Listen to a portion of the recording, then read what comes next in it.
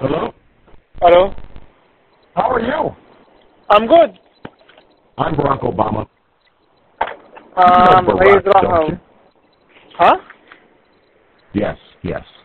Yeah. I hear you. You had a question for me. We wanted to to call up and, and answer it personally. Yeah, what's the question? What do you mean? Uh, what are you talking about? So what are you saying? Who are you?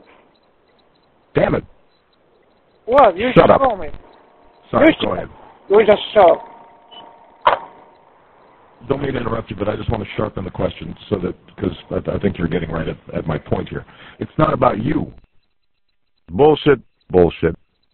And your mother was begging Barack to stop.